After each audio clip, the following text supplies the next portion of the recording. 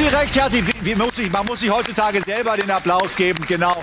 Quiz der Olympiazeit. Für Sie zu Hause die Chance, ein tolles Quiz zu sehen, selber mitzumachen. Aber eben auch die Chance, ein bisschen hinter die Plexiglasscheiben zu schauen. Wobei heute haben wir gar keine. Denn die beiden sind im realen Leben ein Paar, dürfen deshalb also nebeneinander stehen, dürfen sich anfassen. Es ist alles erlaubt. So wir haben die Lizenz zum Ehepaar. Knutschen. Herzlich willkommen, schön, dass ihr da seid. Hallo und Jan-Josef Liefers.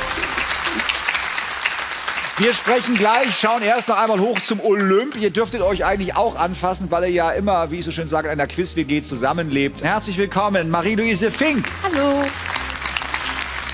Der Mann aus Münster, wie man auf dem Jackett erkennen kann, unser Professor Quiz, Professor Dr. Eckhard Freise. Dankeschön. Und der Mann, der sich immer noch ärgern kann, wenn er mal etwas nicht weiß, unser Quizass. Herzlich willkommen, Thorsten Zirkel. Hallo. Gut. Bevor wir gleich reden, ganz kurz noch mal der Hinweis zu Hause. Äh, mitspielen. ARD Quiz App gibt es. Sie können mitspielen, ähm, jede Frage und auch möglicherweise mitgewinnen. Schauen wir mal, wie es denn heute läuft. Aber ich glaube bei den beiden, Sie waren noch nicht zusammen hier. Was ist denn da falsch gelaufen die letzten Jahrzehnte, dass ihr nicht zusammen da wart? Nein, bei uns ist immer so, dass jeder will immer das erste und auch letzte Wort haben. Und es gibt ja hier diese Runde mit den Fragen und da gibt es einen Wortführer. Ja. Und das hat bei uns ein paar Jahre gedauert, bis wir den bestimmen konnten. Wer ist denn jetzt der Wortführer? Wir haben uns Äh, noch nicht geeinigt, meiner Meinung nach. Sehr schön. Also, wir haben ja ein bisschen über den Lockdown eben schon gesprochen. Für euch war das ja auch ein großes Thema, aber ihr wart zusammen. Deshalb habt ihr die Zeit einigermaßen für euch vernünftig überstehen können. Am irritierendsten war es für unsere Kinder und für die Hunde. Plötzlich sind die immer da. Ja. Aber Und wir habt euch sind jetzt auch kurz davor, Tischtennisprofis zu werden. Ja. Ah ja, das stimmt. Ja. Also ich freue mich auf das, was jetzt gleich passiert. Aber erst einmal dürft ihr da oben aktiv werden. Ihr dürft nämlich wählen Kategorie aus drei wählen, Kategorien. Essen und Trinken, Körper und Geist Oh, und TV-Serien. TV-Serie. Oh. Wir haben Marie-Louise, die hat sich entschieden für Essen und Trinken. Eckhard hat genommen Körper und Geist und Thorsten ebenfalls Körper und Geist. Der Professor. Wenn es jetzt äh, nicht ihr wärt, würde ich auch Körper und Geist nehmen, weil da würde ich denken, dass ich eigentlich ganz gut liege. Aber es seid Liegst ihr ja nun, die Spezialisten. Ne? Ist das schlau? Oder sollen wir lieber Essen und Trinken machen? Da kennen wir uns beide nicht aus. Okay, gut. Oder? Was? Ja, mach. Ja, finde ich gut. Essen und Trinken Wir oder was? spielen natürlich gegen die Dame. Ja, Ladies first. Ladies first.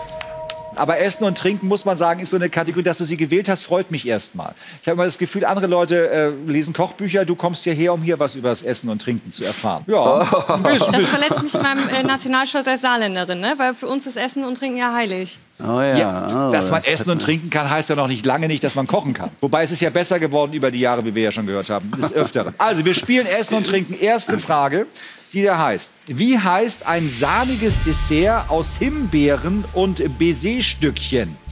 Ist das Schneegestöber, Nebelfront, Laubfall oder Hitzewelle? Ihr dürft laut reden, Sie anschauen. Ah, hast schon. Ja, ihr dürft ganz laut reden. Würde ich sofort auch sagen. Als Anna macht keinen Sinn. Ja, glaube ich auch. Man kriegt vielleicht eine Hitzewelle hinterher, wenn man es gegessen hat. Aber ihr wollt was nehmen? Ihr dürft Ach so. Schneegestöber. Ja? Okay. Du hast es auch genommen, ne? Genau. Kannst du es auch zubereiten?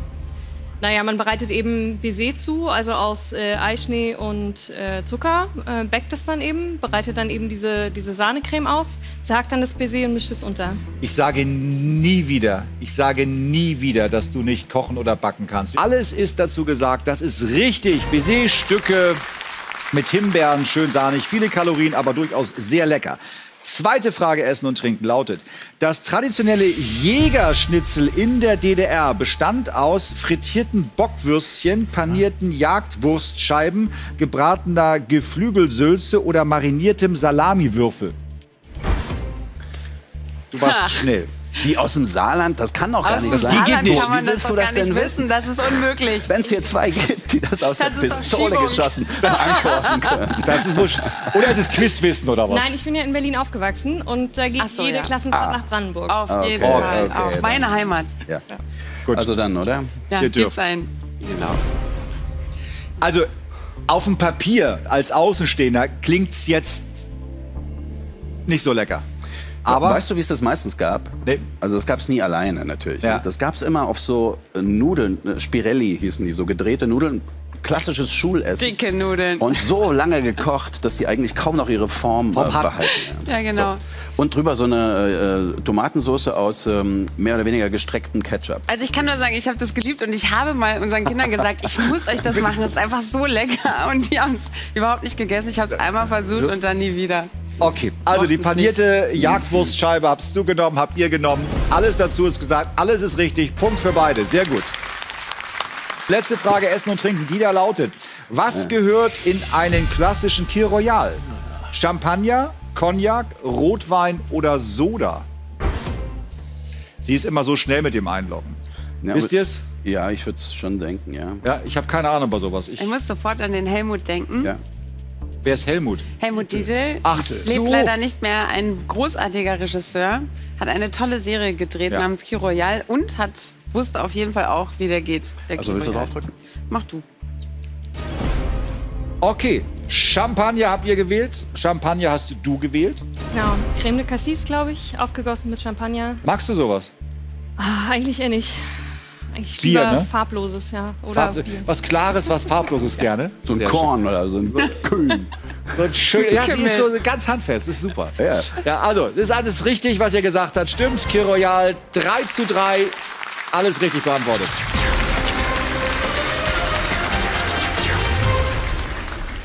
So, jetzt wählt ihr die Kategorie, Oh ja. die zunächst Marie-Louise beantworten darf, bevor ihr dran seid. Und zwar Mode, Kinofilme und Macht und Geld. Mode können wir nicht wählen. Das sehe ich jetzt schon, dass das eine ganz schlechte Idee ist bei Ihnen. Und Macht und Geld, Macht aber und- Macht, Macht und, und Geld Geld, spielt bei uns keine Rolle. Ich glaube, Macht und Geld haben wir wir, auch äh, keine guten Chancen, ehrlich gesagt. Komm, dann müssen wir einfach. Äh, Dann müsst ihr Kinofilme Kinofilme nehmen. nehmen. Kinofilme nehmen. Ja. Wollen wir es einfach wagen? Ja, wir wagen das. Komm, Chuck. Gut, Ist nicht unsere stärkste Kategorie. ich lese vor. Lola rennt. Ach, im gleichnamigen Kinofilm von Tom Tykwer, um ein Konzertticket zu ergattern, Geld zu beschaffen, ihren Bruder zu treffen oder einen Zug zu erreichen. Sie hat schon wieder eingeloggt. Ähm, das ist eine Weile her. ach, das ist eine Weile her. Franka Potente und Tom Tikva. Ich, ich war, es war doch um Geld zu Ich, beschaffen. nee, ich glaube. Ich glaube. Ganz kurz, also du sagst, um Geld zu beschaffen und was Ja, sagst also dein Bruder? Konzert- Ich glaube, dass sie ihren Bruder aus. treffen äh, musste. Dass sie sich beeilen musste, um ihren äh, Bruder zu. Es ist jetzt sehr interessant zu beobachten, weil das kann ich ja sagen, ihr tendiert zwischen zwei Antworten. Eine davon ist richtig. Ja. ja. Wer setzt sich jetzt durch? Was hast du gesagt? Ich habe gesagt, Geld zu beschaffen, weil ich meine, dass es um Geld ging für etwas. Aber es ist. Ich sehe sie immer noch telefonieren und ich sehe, dass sie einen Druck hat. Sie muss ihren Bruder. Das sage ich. Wie sicher bist du denn mit dem Geld? Gar nicht, ich bin null sicher. Ich weiß nur noch, Okay, ich dass bin- sie ich immer mit mit- rotem Haarschopf gerannt ist. Bin ein bisschen sicherer Ah, als gar nicht, bin ich mit dem Bruder. Sollen wir es dann nehmen, damit, damit wir noch vor morgen Also fertig jetzt, sind? du hast ja jetzt eindeutig zu verstehen gegeben, dass du sicherer bist. Ja, hat er eindeutig den- gesagt. Hat Gib er, doch dem Bruder ein. Also, ja, ja, etwas halt sicherer schuld, als wenn wir null. verlieren. Also, ich bin etwas sicherer als gar nicht sicher. Ja, ich bin nicht sicher. Okay. Jetzt wird es deshalb noch, noch dramatischer, förmlich, weil du hast sofort genommen, Geld zu beschaffen. Ja, ich habe aber auch zwischen den beiden geschwankt. Also es geht Aber hast darum, dass sie irgendjemand in ihrem näheren Umfeld hat, der sich irgendwie mit den falschen Leuten äh, es verscherzt hat und äh, sie muss Stimmt, jetzt der Bruder. ähm, genau Geld beschaffen. Und ich weiß aber nicht, ob sie jetzt ihren Bruder da irgendwie rausholen musste. Also erst einmal wäre sie, wäre sie ihrem Bruder sehr, sehr nahe gekommen, weil es war ihr Freund Manny. So. Und ihr Freund Manny, Brauchte Money. der Freund Manny äh, hat 100.000 D-Mark in der U-Bahn liegen gelassen und sie hatte gerade noch 20 Minuten Zeit, um das Geld zu beschaffen und deshalb rannte sie los. Aber auch, um ihn danach zu treffen. Den Bruder, den sie nicht hatte. Eigentlich den Bruder, der der Freund Manny war. Ja, Macht okay. nichts. Wir schaffen das auch mit. Ihr Jetzt sind seht. nur noch 17 Fragen, ne? Jetzt sind- Die möglichen. Egal. Dafür lässt du sie mit dem Tischtennis gewinnen nächstes Mal. Das fällt mir schwer. Gut, also Kinofilm die zweite. Ach, ich wusste, das ist eine Scheißkategorie. Nee. In, der, in den Verfilmungen welches Romans spielt 1974 Robert Redford und 2013 Leonardo DiCaprio die Titelrollen? Der Graf von Monte Cristo, der talentierte Mr. Ripley, der große Gatsby oder der Fänger im Roggen? Ja, ihr dürft. Na? Ihr dürft auch laut. Ähm, hätte ich jetzt auch getippt. Hey, Oh, dann machen wir es doch mal wenigstens. Wir sind nicht sicher, aber wir Nicht tippen ganz jetzt so mal was. der große Gatsby. Möchtest du dazu noch was sagen? Ja, war ein äh, toller Film. Fand es ganz interessant gemacht, dass irgendwie so in eine andere Zeit versetzt wurde und dann aber moderne Musik unterlegt wurde. Das fand ich irgendwie ganz interessant. Leonardo DiCaprio konnte nur der große Gatsby sein, weil die anderen aus einer ganz anderen Zeit sind. Gut. Schön. Punkt für beide. Ist richtig. Jawohl. Kinofilme. Eine haben wir noch. Wann treffen sich Harry und Sally im gleichnamigen Kultfilm das erste Mal? Am ersten Tag im Kindergarten, beim Nachsitzen in der Schule, nach Abschluss am College oder an Harrys 30. Geburtstag? Das erste Mal. Ja. Wann treffen sich Harry und Das ist Sally? doch der Film, wo die sagt, Im ich will die, das, was die da hatte. Mal. Das, was nur die da hatte. Ah, ah, ah. Ach, das ist diese Das eine ist Szene. diese eine Szene aus Harry und Sally. Und das ist dieser wahnsinnig romantische Film, als Mac Ryan noch schön aussah. Als man sie noch erkannte, meinst du? Richtig. Verdammt. Also, dass man auf keinen Fall Harrys Geburtstag, das können wir streichen, weil es viel zu spät. Harrys Gut. Geburtstag ist spät. Nach Abschluss am College wäre eine Möglichkeit. Ich glaube, am ersten Tag im Kindergarten ist auch Quatsch. Können wir Jo. auch streichen. Wirklich? Beim Nachsitzen in der Schule, äh, glaube ich, kann auch weg. Ich würde tippen nach Abschluss am College, weil ich glaube, das war ihr erstes romantisches Essen nach dem Abschluss beim College. Das heißt aber nicht, dass sie sich zum ersten Mal getroffen haben. Nein, natürlich nicht, aber sie haben sich füreinander entschieden und sind romantisch miteinander essen gegangen. Aber dann müssen sie sich ja vorher schon mal getroffen haben. Die Frage steht ja jetzt hier, wann treffen sich? Im, wann treffen sich Im gleichnamigen, im erste Kultfilm. Mal? Oder gab es da Szenen, wo es andere gespielt haben? Also Kindergartenkinder schließe ich aus, die habe ich in dem Film nicht gesehen. Beim Nachsitzen in der Schule hätten sie es eigentlich auch nicht mehr spielen können, weil da, war, da waren sie auch damals schon zu alt. Also kann es nur der 30. Geburtstag sein, was Quatsch ist, weil das können dieselben Schauspieler spielen. Also mit ein bisschen auf jung getrimmt und anderen Klamotten und einer anderen Frisur könnte es nach dem Abschluss am College sein. Ganz logisch gedacht, ja? Das ist der Punkt, wo man als Mann dann auch mal schweigt. Also, Mathe-Leistungskurs. Logisches Denken. Und ich, und ich muss auch ganz ehrlich, ich, ich- ich mag euch beide wahnsinnig, deshalb, es soll ja auch nach der Sendung noch richtig schön sein. Ja. So wie Ja. nach Also Lola ich- rennt, würde ich jetzt einfach Ich mal. weiß nicht, was ähm, würdest du denn sagen? Anna, Nein, ich, du, Anna, hast, das du, ist, du, du drückst. Anna drückt. Anna rennt. Lola Gut. rennt, Anna drückt. Okay, du hast genommen beim Nachsitzen in der Schule. Ja, ich meine, dass sie sich dann wieder treffen im, im älteren Alter, aber ich bin mir nicht sicher. Und äh, deshalb habe ich zwischen den ersten beiden geschwankt und ich glaube, ich habe dann die Abbiegung zum Breakfast äh, Club genommen mit dem Nachsitzen in der Schule. Das war wahrscheinlich der Fehler. Also, richtig ist, ähm, dass diese Romantik der beiden hätte viel früher beginnen können. Ähm, und zwar tatsächlich nach, als Fahrgemeinschaft auf dem Weg nach New York, weil sie sich direkt nach dem Abschluss auf dem College zusammengetan haben und gemeinsam nach New York gefahren sind. Deshalb haben wir Punkt Gleichstand. Punkt für Jan-Josef und für Anna. 5 zu 5. Sind wir durch durch Kino? Wir sind Kino durch, abhaken. Ha. Oh. Okay. Ihr dürft noch die beiden Herren wählen. Drei äh, Kategorien jeweils. Oh, jetzt, jetzt die wird's. 90er Kunst und Kultur und Deutschland. Eckart entscheidet sich für Kunst und Kultur. Und Thorsten für die 90er. Die 90er. Ah, Thorsten. Also Kunst und Kultur oder 90er. Ja, sag du. Keine Kunst und leichte Kultur würde ich machen. Würdest du? Ja. Die 90er ist doch deine. deine Ja, trotzdem. Ich würde mich aus Intuition auf Kunst und Kultur. Oder? Mach du, was du willst. Okay. Was, was, soll, man, was soll man da noch machen, was Mach man du, will? was wenn ich man, will, bitte jetzt. Mach doch, was ich will. Mach doch, was ich will. Mach, was du willst. Okay. Kunst und Kultur Kunst und oder 90er? Kultur. Okay. Ja, gut. Kunst und Kultur. Viel zu selten gespielt. Erste Frage, Kunst und Kultur.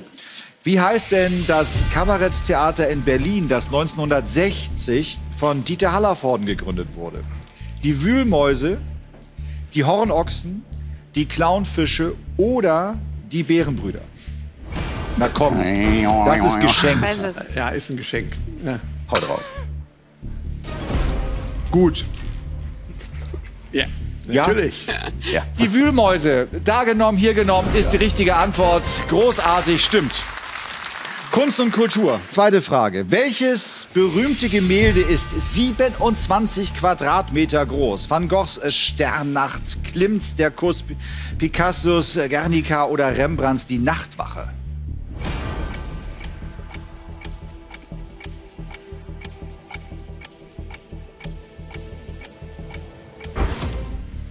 27 Quadratmeter. Also wenn was 5 mal 5 Meter ist, dann heißt es 25 Quadratmeter. Ja. 5 mal 5 Meter ist ganz schön groß. Wenn ich mir Van Gogh vorstelle und ähm, ich kenne einige seiner Bilder im Original auch aus, aus. Amsterdam und so. Hab natürlich zehn Stück auch zu Hause hängen, ja, davon. Äh, nee, äh, dann, äh, dann würde ich sagen, die, das, ich kenne kein Bild von Van Gogh, das so groß ist. Kenne keins. Äh, Klimts Kuss ist äh, auch nicht so groß. Wir sind, wir sind uns nicht sicher, ob Rembrandts das die Nachtwache. Nachtwache oder Guernica ist. Rembrandts Nachtwache ist nicht so klein. Auf jeden Fall können wir schon mal sagen, es ist eins von den beiden. Äh, bei so Großformaten, die könnten gut zu Picasso passen. Große, Aber auch zu Rembrandt, oder? große Bilder an der Wand. Jetzt Rembrandt. Rembrandt ist in der Das Zeit, ist schon wieder so weit. Jetzt bist du aber wieder dran. Jetzt Guck mal, die, wieder, was äh, du nimm mal die. Bilder, die du kennst von Rembrandt, die sind alle nicht, die sind alle nicht so groß. Du hast mich überzeugt. Ja. Wir tippen auf Picasso. Mit Nichtwissen überzeugen. Das ist, das muss man. Ja. Das kann nur ein Schauspieler. Gut, dann lockt's ein. Talentierter Schauspieler natürlich. Picasso, denn jetzt wird's deshalb spannend, weil Eckert hat äh, die Nachtwache genommen. Ja, also nach 30 Sekunden hätte ich mich auch für Guernica entschieden. ich habe mal kurz nachgerechnet. Äh, dieses Picasso-Gemälde hing ja in der UNO, nicht? Äh, äh, zwischenzeitlich. Und äh, ist riesig. Das wären dreimal neun Meter. Nee, ist die Nachtwache nicht. Ich habe die Nachtwache genommen und hätte mich hinterher korrigiert. Ja.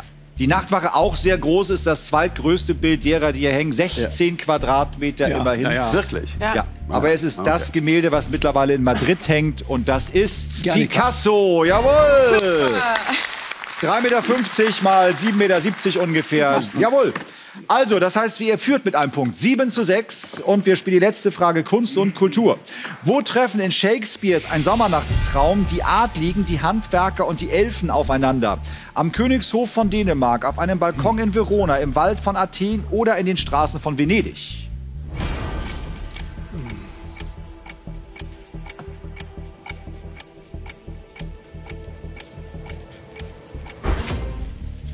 Los gibt's ein. Also Shakespeare, äh, Dänemark ist, äh, das ist ein Hamlet auf einem Balkon in Verona, ist äh, Romeo und Julia, äh, Straßen von Venedig. Es ist in einem Wald, äh, in einem Wald vor Athen.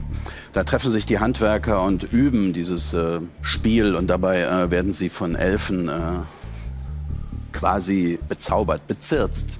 Gut, dann im Wald in vor Athen. Eckert hat auch lange überlegt, ist alles durchgegangen, kam auch noch kurz Venedig, Othello, aber Kaufmann von Venedig kann es nicht Ich meine, sein. es wäre der Herzog von Athen, äh, der das veranstaltet hat. Und die ganze Geschichte geht so, dass die Handwerker ein Stück aufführen sollen aus Ovid, Metamorphosen, Pyramus und Thisbe. Also Kunst und Kultur ist ja noch nicht ausgestorben. Gibt es denn auch eine moderne Kunst- und Kulturfrage oder sind die alle nur so aus Wir haben ja nur drei Fragen und das ist die dritte Frage und auch die habt ihr richtig Sei froh, dass beantwortet. es so gelaufen ist. Okay. Also das wurde auch 1960 alles geschrieben, als wir angefangen haben. Also er steht 8 zu 7, ihr führt. Ihr sucht die Kategorie aus, mit der es weitergeht. Ah. Zeugen der Zeit. Bücher und Wörter und aus dem Leben. Finde ich super. Also Zeugen der Zeit, glaube ich, haben wir vielleicht nicht so gute Chancen, Mhm. weil ich denke, da ist der Eckert sehr stark. Äh, Bücher und Wörter, glaube ich, auch. Und ich war mal glaube, aus dem. Leben haben wir vielleicht die ein oder andere Chance, dass wir eine Frage erwischen, wo wir zufällig die Antwort wissen und vielleicht zufällig der Gegner nicht. Gut, also aus dem Leben. Ja, das ist meine Ja, das, Horrorkategorie. Jetzt kommt die Waschmaschinenfrage. genau, die Waschmaschinenfragen. Was hilft nämlich dem Angler bei der Raubfischjagd? Die Felge, die Hupe, Ja, der Scheinwerfer oder der Blinker?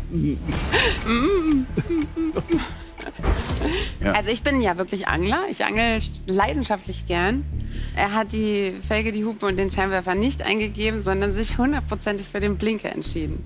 Was wir auch tun. Hast du auch genommen. Sehr gut.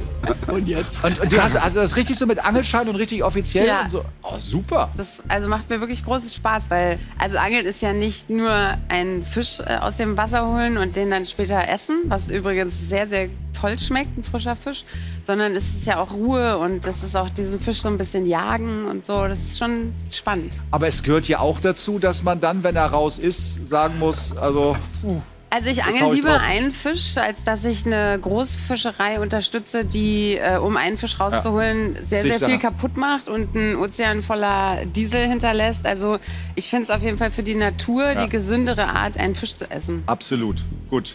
Der Blinker ist richtig. Hast du auch genommen. Kannst du auch angeln, Eckart?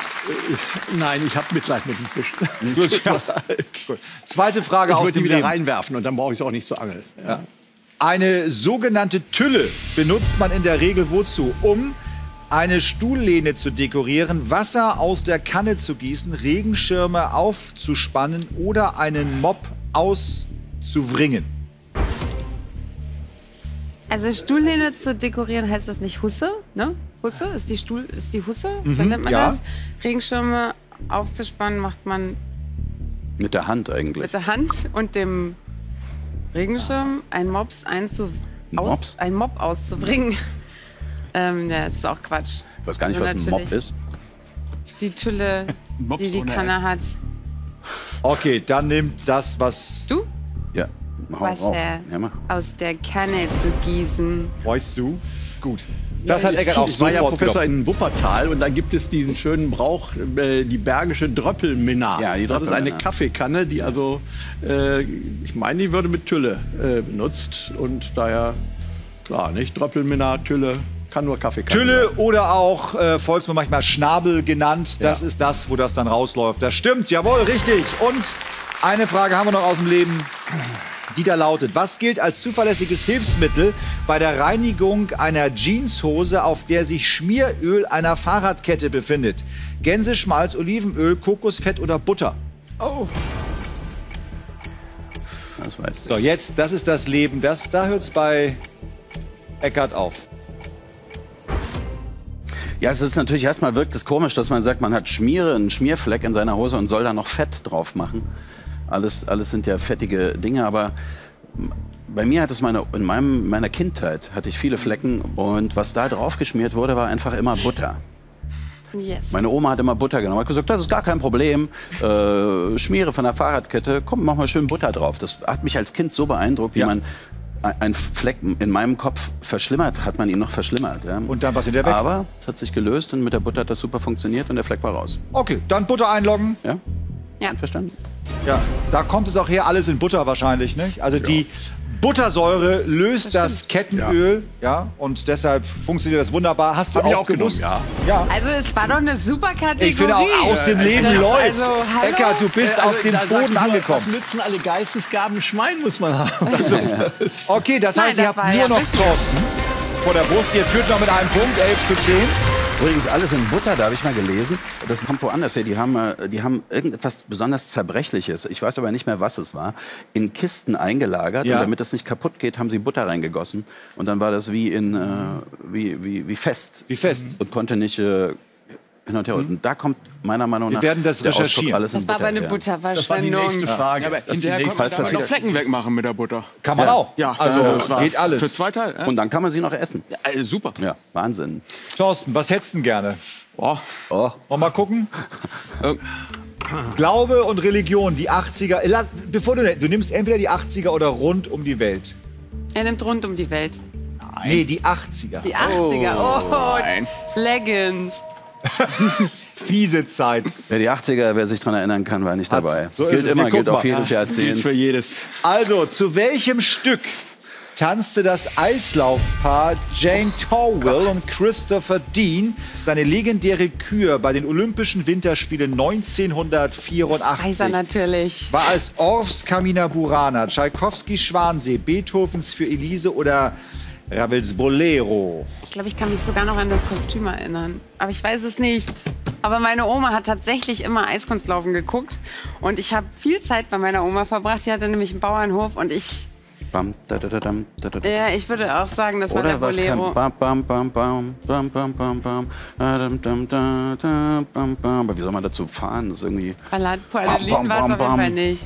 Oder war es das? Ich glaube, das ist eins von beiden. Weil ich, äh, Nein, es war der Bolero. Also ich meine sogar, dass sie noch so ein spanisches Kostüm anhatte. Und da kann ich mich eigentlich noch dran erinnern. Aber- Dank meiner Oma. Carmina Burana klingt auch spanisch. Komm, wir geben das jetzt ein, ja? Darf ich das eingeben? Ja. So, hast du auch genommen? Ja, also eiskunstlauftechnisch waren das ja großartige Olympische Spiele. Zum einen durch Kati Witt, die da ja das erste Mal so richtig. Weißt du da haben wir das Musik? nämlich auch geguckt, wegen unserer Kati. Weißt du da auch noch die Musik? Äh, das äh, mit Carmen, das war dann vier Jahre später, 88. Ja. Also 84, weiß ich nicht.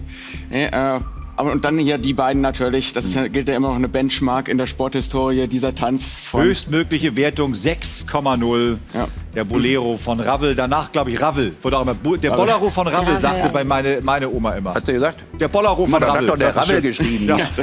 Nach dem Latte Macchiato. Ja, genau. Also, der Bolero von beiden genommen ist richtig, jawohl. Olympische Winterspiele 84 in, das weiß natürlich auch noch. Sarajevo. Sarajevo, genau. Wie war die Hymne noch? Die Hymnen, du meinst, Die du meinst sa- die sagen immer dieses Sarajevo. Die, die, diesen, diesen, diesen Wolf, äh, Wut, Ja. Wutsch, Wutschko hieß Der er. Wolf, Sarajevo. genau. Zweite Frage, die 80er. Was war noch los? Arnold Schwarzenegger spielt nicht nur in Conan der Barbar die Titelrolle, sondern auch 1984 in der Fortsetzung Conan der Anführer, Zerstörer, Jäger oder Verführer. Ja, also Conan der Zerstörer? Conan der Anführer, was soll denn das für ein Filmtitel sein? Na, das, das, Nein, es passt ja auch gar nicht zu ihm. Die Faust von Schwarzenegger hat alles kaputt gemacht. Conan der Zerstörer. I play natürlich. Conan the Jäger. Conan the Jäger. Der Verführer. Also ein Verführer Ah. ist es auf gar keinen Fall. Hey, hey, hey, hey, pass auf, was du sagst, das wird gesendet. Ja. Ja, Arnie ist, auch, ist ein sehr charmanter äh, Arnie. und Also ich kenne ihn nicht persönlich, aber er hat ja wirklich lustiger große, und smarter und auch- erfolgreiche Filme gemacht und ich habe meinen allergrößten Respekt für Arnold Schwarzenegger, aber er ist kein Verführer, Zerstörer. Zerstörer? Gut. Okay. Wollen wir das eingeben? Ja. Conan der Verführer steht in der Abteilung ab 18. Was, was hast du? Du hast auch. Ich habe das auch genommen, ja. Hast du es geguckt damals? Äh, nie. Konnte mich nie ganz zum Film durchdringen, aber wir haben es letztens mitbekommen, diese Figur Conan, das war so ein bisschen die Blaupause für die He-Man-Figur. Also der Zerstörer ist richtig. Das stimmt, jawohl.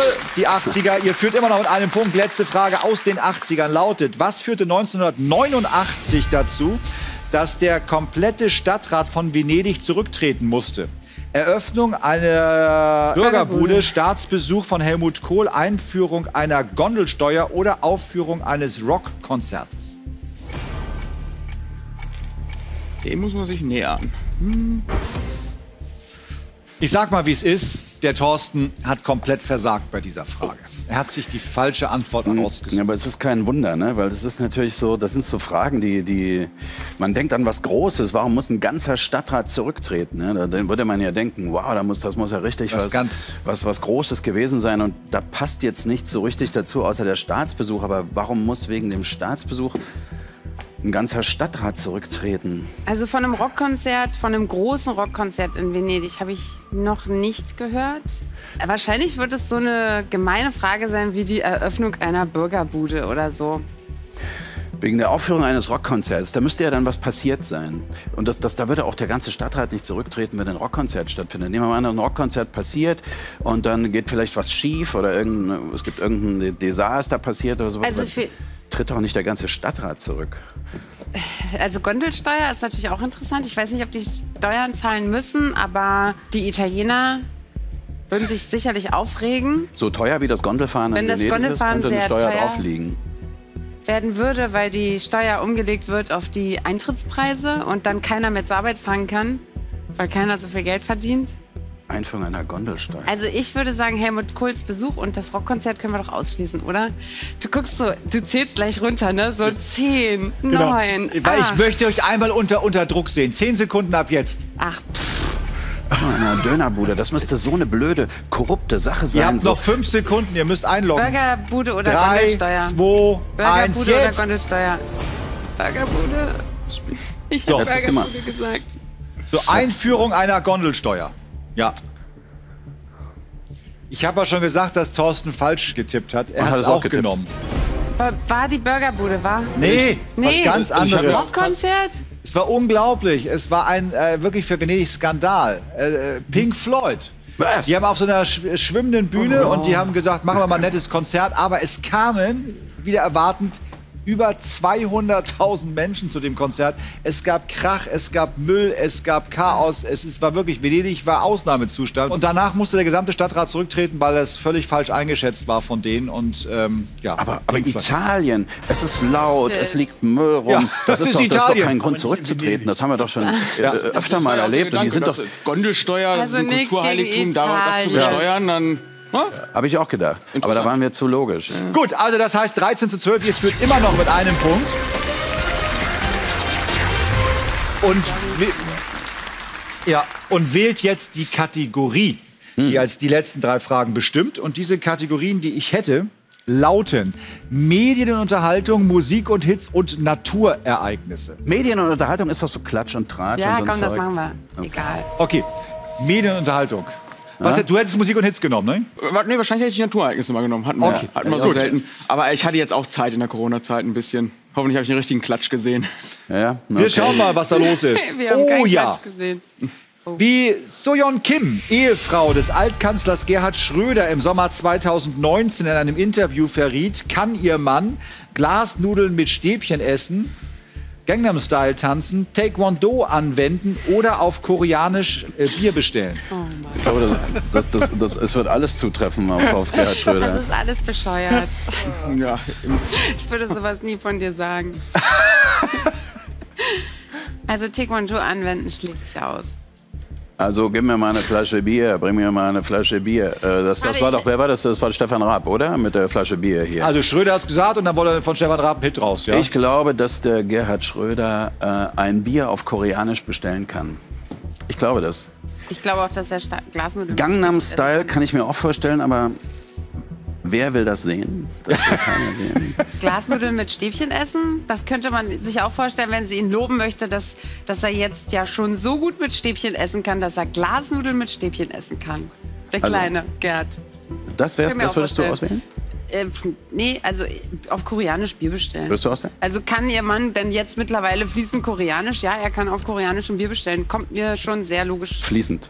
Fließen kann er da. Äh, fließend steht hier nicht. Nee. Okay. Sollen wir es nehmen? Gut. Ja. So, das hat Thorsten auch genommen. Hab mich genauso über die Idee genähert, wie könnte denn so eine Interviewfrage lauten? Ja, Mensch, spricht er, äh, wie ist es mit ihrem Deutsch und wie spricht ihr Mann jetzt Koreanisch? Und dann kommt die Anekdote, ja, er kann ein Bier bestellen. Ja, aber ich habe gehört, die sind ein bisschen crazy und deshalb hätte ich mir eben auch diese Antwort mit Ja. den Glasnudeln und Stäbchen vorstellen können. Hol mir mal eine Flasche Bier, sonst streike ich hier, sagte er damals. Daraus wurde ein Riesenhit. Und das soll er angeblich auch fließend auf Koreanisch bestellen können. Das ist richtig, jawohl. Okay. Punkt. Vorletzte Frage, Medien und Unterhaltung. Was wurde bei der ersten offiziellen Eurovisionssendung gezeigt, die am 6. Juni 1954 übertragen wurde? Eine Zirkusgala in München, Narzissenfest in Montreux, Papstmesse in Wien oder der Autosalon in Genf? Hoho, Das ist, das ist stark. das ist Wahnsinn. Das ist stark. 54 liegt Ja, jetzt auch ja, das schon ganz schön weit zurück. War ja quasi gestern. Stark. Okay, also ähm, 54, die große Zirkusgala in München, das könnte ich mir vorstellen im Roncalli. Da könnte ich mir, da gab es doch auch diese, da gab es doch auch noch immer dann später noch, wo, wo Prominente dann in Zirkus, äh, Klammer, so kleine Tricks gemacht haben und so. Also und das könnte zu diesen 50er Jahren so alles so ein bisschen behäbig und so ein bisschen, da könnte das gut passen. Da hat dann, glaube ich, Uschi Glas hat mal so ein Pferd durch die Manege geführt und so. Was Und, ist und, denn und diese, Oder einen Narzissenfest. weißen Hirschen. Wissen Sie, was das Narzissenfest ist? Ja, das sind Blumen. Und, Ja, und die, äh, in Montreux gibt es wahrscheinlich ein großes Narzissenfest. Also ich habe noch nicht, ich weiß gar nicht, was das ist, das Narzissenfest Autosalon in Genf. Warum sollte das 54, als der Fernseher noch so heilig, ein Heiligtum in den Wohnzimmern, warum, warum sollte man da ein Autosalon in Genf, gab es da irgendwas Besonderes um die Autoindustrie 54? Das müsste man mal überlegen, was war da? War die erste Abwrackprämie wahrscheinlich. Ist doch langweilig. Na, Du willst Ja, doch, du, das muss was aus dem Unterhaltungsbereich sein. Wenn du, wenn du sowas startest, Eurovision, dann, dann, dann willst du doch nicht einen Autosalon. ja, und Zirkus hier haben wir einen? Achtzylinder Zirkus und hier ist einer Ja, nee. Zwölfzylinder. Oh, Papst, dieser Motor, da, da schaltet doch die Hälfte ab. Das guckt sich doch Zirkus. keiner an. Zirkus? Ist doch nichts für Frauen. Autosalon. Also ich glaube ja auch irgendwas Entertainmäßiges eher. Aber eine Eurovision. Papstmesse in Wien? Gab es eine Papstmesse in Wien 54? Wahrscheinlich ist es echt bescheuert und so ein Blumenfest oder so. So ZDF-Fernsehgartenmäßig so ein bisschen. Also warum Autos? Zehn Sekunden ab jetzt. Ich wusste, dass das kommt. Das ist fies. Mach du, mach du. Nee, mach du. Noch fünf, drei, zwei, eins. Zirkusgala in München? Du hast das Narzissenfest in Montreux genommen. Warum? Also ein, einmal mal so eine Überlegung, es muss was Banales sein, was einfach nirgends aneckt, was jedem irgendwie gefallen kann. Oh, schöne Blumen, ja, hier schön Stimmung, Urlaubsbilder, kann sein. Und auch diese ganzen, der, der erste ESC damals, zwei Jahre später, der kam aus der Schweiz. Ich habe mir gedacht, dass die Schweiz vielleicht auch ein bisschen so Vorreiter war. Die, für, für diese ganzen seichten Sendungen, die dann in, die, in, nach ganz Europa äh, verbreitet wurden. Das Ganze lief wirklich eine Stunde von 15.30 Uhr bis 16.30 Uhr. Zudem noch 1954 in Schwarz-Weiß. Auch das noch. Dann war es doch nicht dieser Autosalon, dieser vermaledeite. In Schwarz-Weiß guckten sich damals im Zuge des Programmaustauschs zum an. ersten Mal die Menschen die Narzissen in Montreux an. Wirklich? Das war wirklich die erste Eurovisionssendung. Narzissenfest in Montreux. Verdammt. Ja. Letzte Frage, Punkt Gleichstand. Das ist schön. Wen nahm Hollywood-Star Gwyneth Paltrow 2018 in die Flitterwochen mit ihrem zweiten Ehemann Brad Falchuk mit? Ihren indischen Guru, ihren Ex-Mann Chris Martin, ihre Paartherapeutin oder ihre Kollegin Drew Barrymore? Boah. Hat Gwyneth Paltrow einen indischen Guru? Bestimmt. Die macht ja so Yoga und die ist ja eine mega Geschäftsfrau geworden. Das heißt, sie hat so eine, also sie hat so ein Label gegründet, was unglaublich erfolgreich ist. Und ähm, ich bin auch ziemlich sicher, dass sie auch irgendwann mal einen indischen Guru hatte oder hat. Aber sie ist befreundet tatsächlich mit Drew Barrymore. Ich glaube, sie macht auch viel so Sexualtherapie, Praktiken und so Thera Partnertherapeut kann ich mir auch vorstellen. Alles gut. Dann hat sie Kinder mit Chris Martin und äh, Und die ich glaub, Kinder haben gesagt, wir fahren mit in die, in die Nee, Flitterwochen, aber wenn, nur wenn der Papa ich, auch wieder ein mitkommt. gutes Verhältnis und ich weiß aber nicht, ob das, ich glaube, die hat den ja auch nicht sofort geheiratet. Ich kann mir auch vorstellen, dass Chris Martin quasi mit war, weil die versuchen, ein tolles Patchwork Familienleben zu kreieren. Also es ist Alles echt möglich. schwierig. Es ist alles möglich, glaube ich. Anna hat gesagt, die hat alles mitgenommen. Ja. Also ein Guru in den Flitterwochen, das, das würde vielleicht Sinn machen, weil man sagt, ich kann nicht immer nur mit meinem neuen Ehemann. Ich, ich muss auch mal spirituell irgendwie abtauchen können. Ja. Also Aber ich glaube, den Ex-Mann. Die Paartherapeutin könnte auch eine Freundin sein, Ich glaube, die der nur zufällig Chris Martin war bestimmt mit und die haben so alle, hey, wir sind eine total coole Familie, damit die Firma noch viel mehr Produkte verkauft und damit das alles noch mehr flutscht. Ähm, Chris Martin ist der Sänger von Coldplay. Das ist eine Band, die steht für positives äh, Denken und ähm, ich glaube, der war mit. Also 10 Sekunden und ihr macht's richtig diesmal. Ich weiß es. Chris Du Martin. machst es. So, Chris Martin, hast du auch genommen? Genau, also die beiden, Gwyneth Paltrow und Chris Martin, waren ja Der weiß alles. bekannt dafür, dass sie diese Idee des Conscious Uncoupling, das bewusste Entpaaren, sehr nachhaltig, ohne dem anderen weh zu tun, in die Öffentlichkeit getragen haben. Das kann ich mir vorstellen, dass das in dem Zusammenhang dann auch passiert ist. Bewusstes Entpaaren. Entpaaren. Also das bewusste ja, ich habe mich Entpaaren jetzt, kenn äh, ich, aber- bewusst Oh mein Gott, das klingt so doof. Wenn es dann auch immer noch so klappen soll, wie es dann ver verkauft wird. Unglaublich. Aber das ist richtig. Ihr habt es äh, richtig gemacht. Dort oben ist richtig gemacht worden. 15 zu 15. Das heißt im Finale, Punkt Gleichstand. Sehr spannend. Wahnsinn. Ihr dürft anfangen im Finale. Wer möchte entscheiden oder entscheidet der Gemeinschaft? Gold oder Silber? Also es geht ja hier um einen Sieg, oder? Ja. Dann, dann würde ich sagen äh, Gold. Gut. Ist das falsch? Was ist in dem Silbernen? Das sind auch Fragen. Ich hätte Silber gewählt. Gut. Wenn dann nachher die silbernen Fragen leichter waren, dann kann man immer sagen, ich hätte ja, also. Ganz kurz zu den Spielen. Wer ist denn jetzt der Sprecher von euch? Wer hat denn das entschieden? Gut. Du darfst nur eine Antwort geben und die muss hoffentlich richtig sein. Korrigieren geht nicht. Okay? Die steht hier nicht. Die, die, ah, die sagst du. Okay. Die sage ich. Deshalb versuche ich deutlich zu sprechen. Das Logo der Anti-Atomkraft-Bewegung ziert seit den 70ern der Spruch Atomkraft Nein, danke. korrekt. In welchem Fluss liegt der Legende nach der Schatz der Nibelungen versenkt? Im Rhein. Jawohl, rein. Debbie Harry wurde berühmt als Sängerin welcher erfolgreichen New Wave Band? Äh, Debbie Harry. Come on. Äh, Entschuldigung. Fünf Sekunden. Sag's. Blondie. Äh, Blondie! Oh. oh Gott. Oh nein, nein, nein. Frage 4. Die Region Elsass liegt im Nordosten welches Landes? Ähm, in, äh, das Elsass in Frankreich. Jawohl, Frankreich. Boah, Ja, ja, Ja, ja, du, ich, ich- bin auch nur ein Mensch. Ich habe jetzt schon also einen Vollmond unter den Achseln hier. Das ist wahnsinnig. Frage 5. Die populäre DDR-Entertainerin Helga Hahnemann bekam welchen tierischen Spitznamen? Henne. Henne. Jawohl, richtig. Oh. Oh. Wie viele Konsonanten hat das Wort Liebe? Äh, zwei. Jawohl, richtig. Frage 7. Aus welchem Land stammt der zweimalige Formel-1-Weltmeister Mika Häkkinen? Finnland. Das ist richtig. Ja. Jawohl. Welchen geistlichen Titel trägt der buddhistische Mönch Tenzin Gyatso? Buddha? Buddha? Dalai Lama. Richtig, Dalai Lama, stimmt. Sehr gut, Danny. Ja. Hätte ich nicht gewusst. Mit welchem Bond-Darsteller war Heike Makatsch bis 2004 liiert? Daniel Craig. Das ist auch richtig. Jetzt kommt eine Entweder-Oder-Frage.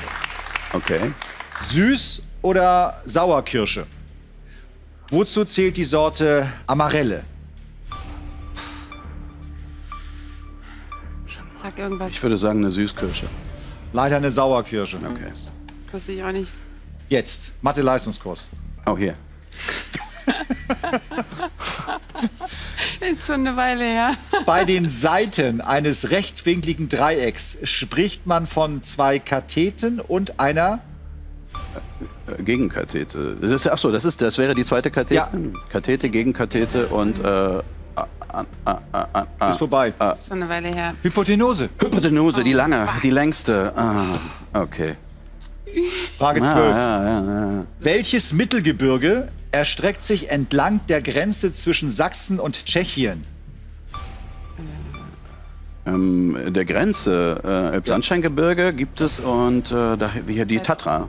Erzgebirge. Erzgebirge, das Ja. Erzgebirge. Das Erzgebirge. Ach, da unten. Ja, ja, ja. Sag Frage mal, ähm, 13. Ja, Geografie. Welcher Country-Sänger gab in den 1960ern legendäre Konzerte in den Gefängnissen von St. Quentin und Folsom? Johnny Cash. Jawohl, Johnny Cash. Letzte, F nee, vorletzte. Welche Farbe haben hierzulande die Roben der Richter am Bundesverfassungsgericht? Rot. Das ist richtig, rot. Und letzte Frage. Als was fliegt die kleine Raupe Nimmersatt am Ende der Geschichte davon? Schmetterling. Schmetterling. Ja, super. Ja. Guck mal, 11 von 15. Oh, Blondie. Und Blondie auch schwach. Oh. So, Ja. wer wird es? Wir, wir haben wieder Fernsehen der 80er. Ja, ja. Das ist gut. Also, wer wird's da oben? Thorsten. Thorsten wird es. Okay, schafft es Thorsten oder haben wir wieder Fragen dabei? Wir werden es sehen. Bis gleich.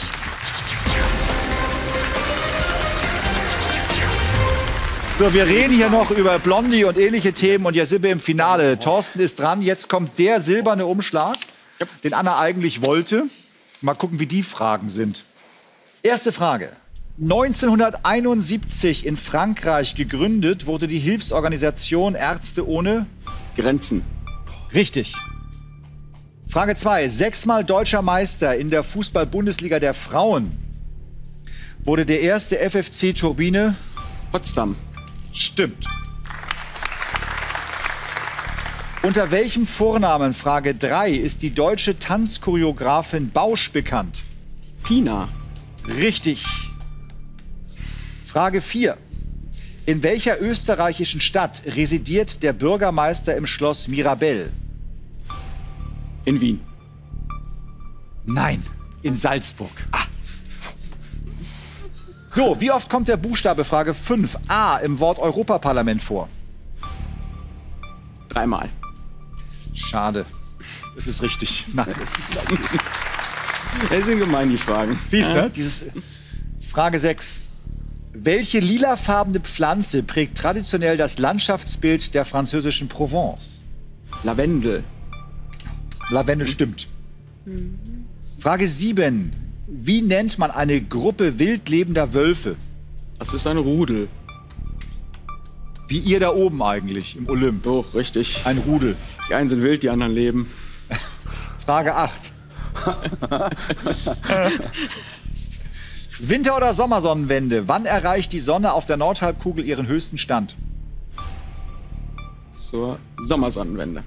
Wie hast du denn da so lange überlegt? Was war denn da Das ist los? genau diese Geschichte mit der, Entweder Sauerkirsche mit der oder Frage.